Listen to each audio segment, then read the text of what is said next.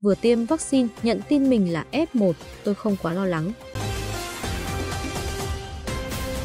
Vừa tiêm xong mũi một vaccine COVID-19, chị Thúy nhận được tin mình là F1 của trường hợp dương tính nCoV, nhưng chị không quá lo lắng. Mong ai cũng được tiêm vaccine ngày 17 tháng 6, Bộ Y tế quyết định chuyển 800.000 liều vaccine ngừa COVID-19 cho thành phố Hồ Chí Minh. Đây là quyết định của Bộ trong bối cảnh thành phố Hồ Chí Minh có 2072 ca mắc COVID-19 mới, với nhiều ổ dịch, nhiều ca bệnh chưa rõ nguồn lây. Từ ngày 21 tháng 6, thành phố bắt đầu tổ chức tiêm cho người dân. Tham gia đợt tiêm này có hơn 350 nhân dân tệ bác sĩ, đến từ các cơ sở y tế khác nhau của thành phố Hồ Chí Minh. Mỗi đội tiêm có 5 nhân viên y tế, gồm 2 bác sĩ và 3 điều dưỡng hỗ trợ tiêm. Họ đã được trích vaccine đủ 2 mũi và có kinh nghiệm trong lần tiêm đợt trước, ngày 8 tháng 3. Đợt tiêm này, thành phố Hồ Chí Minh ưu tiên cho 10 nhóm người, gồm lực lượng tuyến đầu chống dịch, người trên 65 tuổi, người sống ở quận Gò Vấp và người dân phường Tân Thới Nhất.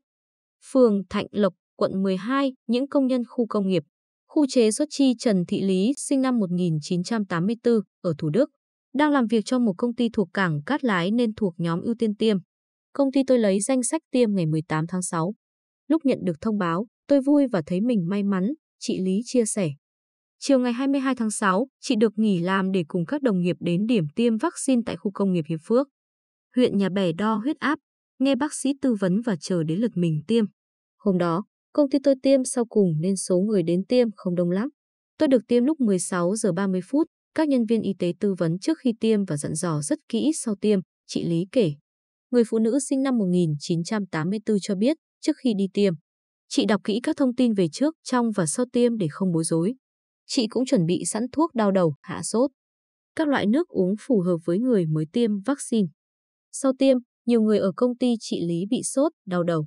Chóng mặt, mệt mỏi nhưng chị chỉ đau chỗ tiêm một chút. Sáng hôm sau, chị vẫn đi làm bình thường. Chị cho biết, tình hình dịch bệnh tại thành phố Hồ Chí Minh đang có diễn biến khó lường với nhiều ca bệnh chưa rõ nguồn lây. Gần nơi chị sống có nhiều điểm bị phong tỏa, nhiều người phải chịu cảnh thất nghiệp, giảm thu nhập, sống trong lo lắng cho sức khỏe. Tôi chỉ mong rằng tất cả mọi người dân tại thành phố và ở các nơi ai cũng được tiêm vaccine. Để đất nước ta có miễn dịch cộng đồng còn lo phát triển kinh tế, chị Lý bày tỏ. Vừa tiêm vaccine xong, biết mình là F1. Chị Hà Thúy, sinh năm 1990, đang làm việc cho một ngân hàng nhà nước chi nhánh ở quận 1. Công việc của chị hàng ngày phải tiếp xúc với nhiều người, vì vậy, khi đợt dịch COVID-19 lần thứ tư bùng phát tại thành phố Hồ Chí Minh, chị rất lo lắng. Ngày 27 tháng 5, thành phố phát hiện ra chuỗi lây nhiễm liên quan nhóm truyền giáo Phục Hưng. Cả cơ quan tôi ai cũng mong sớm có vaccine, chị Thúy kể. Ngày 18 tháng 6, cơ quan chị Thúy nhận được thông báo thuộc diện ưu tiên tiêm vaccine. 6 giờ sáng 23 trên 6, tại điểm tiêm trường Trung học phổ thông Mạc Đĩnh Chi, phường 14. Quận 6, các nhân viên y tế đã mặc sẵn bộ đồ bảo hộ, bày dụng cụ tiêm, vaccine ra bàn sẵn. Lực lượng hỗ trợ tiêm cũng xếp sẵn những hàng ghế cho người đến tiêm ngồi. Mấy phút sau, rất nhiều người từ các địa phương, cơ quan khác nhau của thành phố đến ngồi xếp hàng chờ đến lượt tiêm vaccine. 10 giờ sáng, chị có mặt tại điểm tiêm. Sau khi đo huyết áp, được bác sĩ khám xong, chị chờ đến lượt tiêm. Tôi chỉ chờ tầm 30 phút là được tiêm. Lúc tôi tiêm, các y bác sĩ và lực lượng hỗ trợ ai cũng mệt. Áo ướt đẫm mồ hôi vì làm việc từ sáng sớm. Vậy nhưng khi phục vụ tôi, họ vẫn nhẹ nhàng, vui vẻ.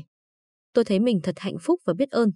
Vừa từ chỗ tiêm về đến nhà, chị Thúy nhận được thông báo khẩn của Ủy ban Nhân dân phường. Yêu cầu những người đến cửa hàng Co, Off Food trong thời gian từ ngày 8 đến ngày 21 tháng 6 nhanh chóng liên hệ với cơ quan y tế.